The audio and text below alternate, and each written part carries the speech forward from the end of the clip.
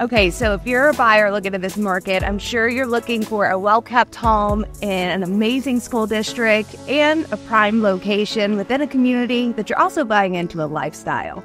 So I'm getting ready to check off a ton of your boxes here. So hats off to this one.